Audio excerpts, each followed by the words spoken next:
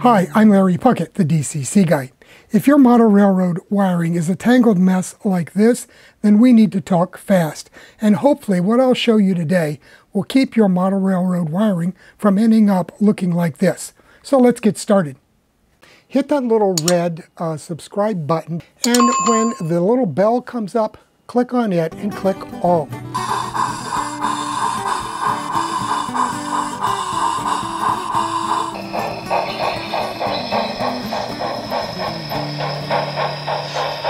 Well, what I showed you in the opening might have been something of an exaggeration, but I have seen model railroads that looked almost that bad.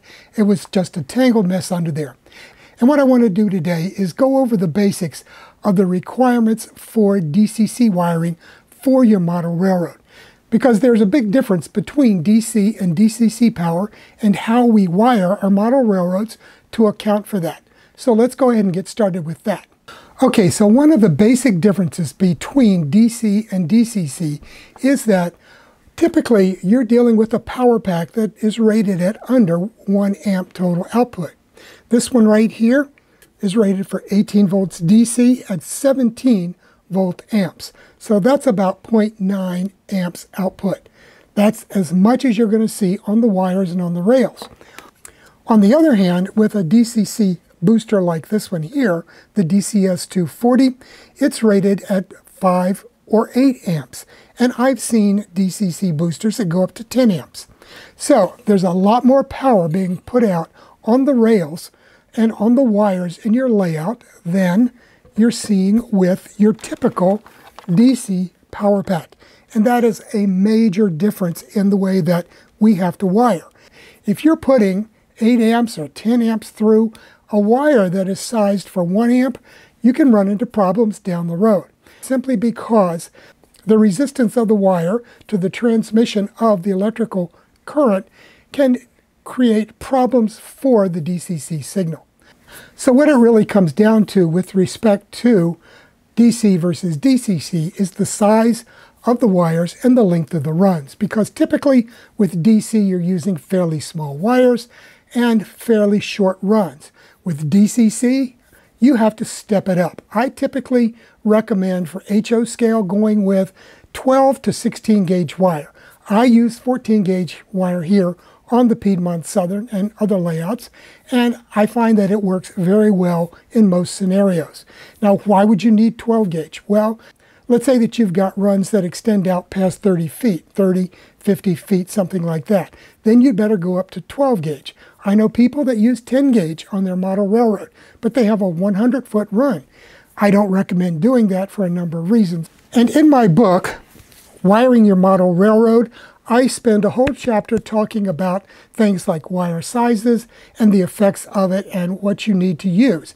So take a look at a copy of this. You can get it off of the Kalmbach Hobby Shop website, or you can find this on Amazon as well. So it comes down to a matter then of the size of the wire, but also the size of the rails. And in that book, I provide tables uh, giving you guidelines for the sizes of the wires you need to use with each of the different scales and also the different types of rails because those vary in conductivity and resistance as well. And the reason for that is your nickel silver rails aren't really made out of silver.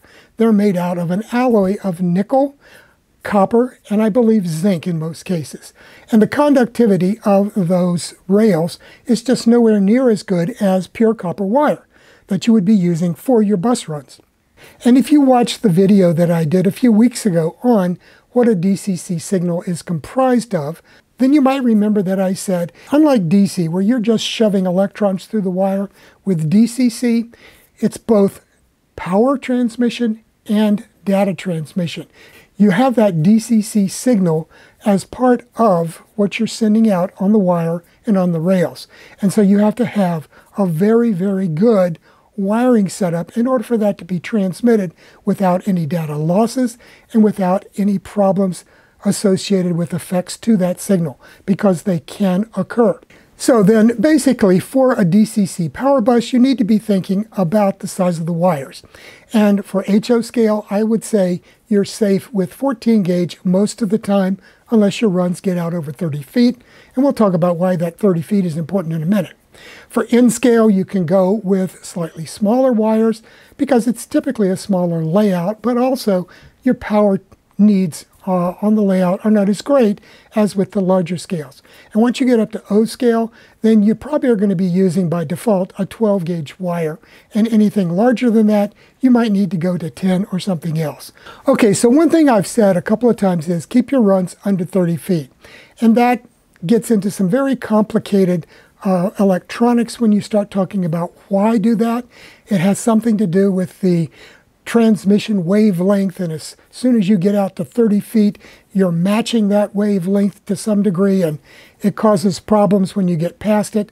I've talked with Larry Maier at DCC uh, Specialties, and he tried to explain it to me, but you know, it's above my pay grade, so I'm not going to try to explain it to you. The important thing is keep your runs under 30 feet if at all possible.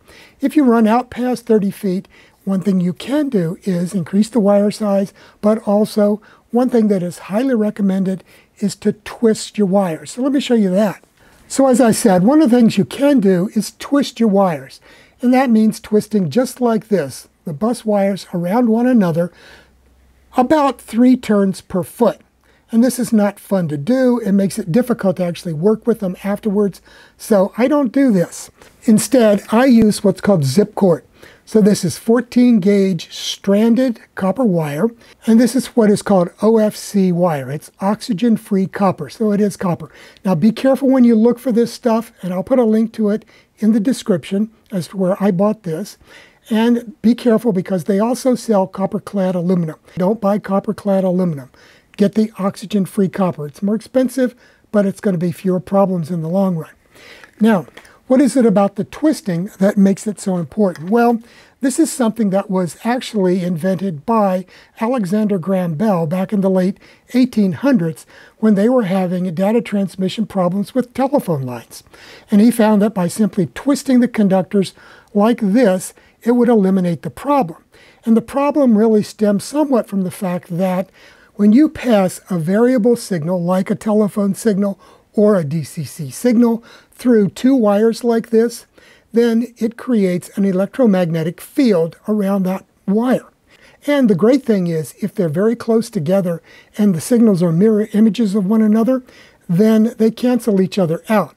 Plus, that electromagnetic field can prevent crosstalk with other wires near them. So it takes care of a lot of the problems that creep in with telephone lines, but it also works great with DCC as well. And you've probably seen it if you've ever installed Cat5 uh, Ethernet wiring in your house or seen it being done at work. These are some of those cables that come out of that. So you can see this is an Ethernet cable wire, and it's a uh, green and a white one, and they're wrapped around each other. And this is a whole mess of them that came out of one cable. And what they do that because they want to eliminate the type of problems that can occur when you're passing a variable signal like this through a pair of wires. So it helps to prevent problems, and it also helps to prevent crosstalk from adjacent wires. Now, of course, the important thing to remember, though, is in order for this to work, these two wires need to be as close to one another as they can possibly get. And by wrapping them tightly around each other like this, it pretty much guarantees that they are as close as they can get because the only thing separating the wires themselves uh, is the insulating jacket. And the same is true with zip cord because with zip cord, you've got the two conductors and you've got a vinyl case around it and they're held together firmly because they are molded that way. So they're not going to get out of alignment, they're not going to uh, get out of shape, and they're going to do the job that you want them to of preventing data transmission errors from creeping in.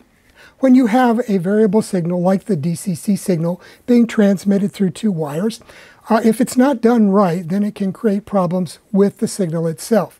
If you remember, the DCC signal, as shown right here, are very nice square waves. And if you go back and look at that video uh, that I did on DCC signals, and I'll put a link to it above me here and at the end, it shows you exactly what they look like and some of the things that can go wrong. But basically, as long as it's a perfect square wave, there won't be any problems. But some of the things that can happen is, is the edge of that square wave can start to become rounded due to wire effects. Uh, you can also get spikes on the uh, occurring at the beginning of the uh, square wave. And one of the things that is built into decoders is part of their programming, they look at that wave. They look at that at how square it is. And if it is not a perfect square wave, they can reject that signal. And if you get a lot of those in a, in a row, then you're going to lose control of your locomotive because the decoder is going to say, hey, this is not a valid uh, signal, a valid command, and it's going to ignore it. So that's one of the things that can happen. You can have loss of control of your decoders, your locomotives, simply because these wire effect problems can alter the shape of the DCC signal enough so that the decoder ignores those signals. So that's one of the reasons that you need to be very careful about the type of wiring that you do. Now another thing that I've talked about in the past is the use of snubbers. Now a snubber is, is basically a device that is a resistor and a capacitor and it's used in order to help keep that signal clean and also to remove uh, transient voltage spikes to a certain degree from the cable. So if, you, if you're running into problems with losses of signal, losses of control of your locomotives, you might need to add a snubber to your DCC wiring. And I did a video on that, and I'll try to find it and put a link to it right here above me so that you can go back and take a look at that. They're very easy to make yourself. You can make them for a few pennies, and uh, I've shown how to do that. Also, you can buy them. DCC Concepts sells them. The folks at uh, NCE make a snubber that you can buy and install on your model railroad. And they're fairly inexpensive and easy to install. Now, as you probably know, there's solid copper wire and then there's stranded wire. Now, I recommend using the solid wire for situations where it's not going to be flexed a lot. So a typical uh, power bus under your layout, it's just going to hang there. It's not going to be moved around or anything like that. That's a good place to use solid wires. But you can usually use stranded wires there as well. And stranded wires, because they are stranded, they'll flex. And so in places where they might need to be moved a lot, uh, such as on a control panel that you're going to open a lot and move around, then that's a good place to use those. Now, of course, with my zip cord that I use for my DCC power bus, this is stranded wire, but it's not a problem and you don't have to worry about it. And I also use that with the various uh, 3M suitcase connectors, those kind of things. And you don't have to worry that because you're closing that little suitcase connector on the wires that you're going to break some of the strands. Yeah, it might cut through a couple of strands, but you've got a lot of strands in there and they're in contact with one another, so it really doesn't matter. Now, one thing to do though is make sure that any type of suitcase connector that you do buy can be used with stranded wire. And most of the ones that I've talked about in the past from 3M and the like are compatible with stranded wire. But what can you do if you already have a model railroad that has been wired for DC?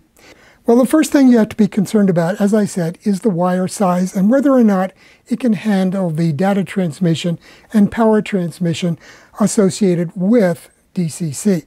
Now, one thing that you can do is hook up your DCC command station to the power bus going to your uh, layout, and then just go around the layout and take a large coin like this one here. This is a two pence from the UK, and you can just put that across the rails. I call this a portable short because you can pick it up and take it anywhere you want. You can put it on there, and you can test. And what you're going to test for is whether or not your command station shuts down. Because if the wires are too small and you create a short on the layout, then the short may not get transmitted back to your command station. It might just see it as a, a high load. And so in that case, then you've got a problem because then you're going to need to increase the size of the wires, the number of wires, something in order to get more power out to those areas of the layout. So again, just turn your DCC system on, put your quarter down, put your large coin down on the rails, and just move around your layout all over and check just like that to see whether or not you've got any signal getting through there because otherwise you're living on borrowed time without it. Now, another thing you can do is if you have one of these uh, voltage amp meters produced by DCC Specialties, you can just put that on the rails and go along and check the readout and see what the voltage does. Because as you move away from your source of power, if you've got high resistance on the rails and in your wires, then that voltage readout is going to decrease. Now, if you don't have one of these, another thing you can do is take your, uh, your little voltage meter, put it on AC, and then go around the layout, touching the probes to the rails the same way, and check the voltage and see whether or not that voltage stays the same as you go around the layout.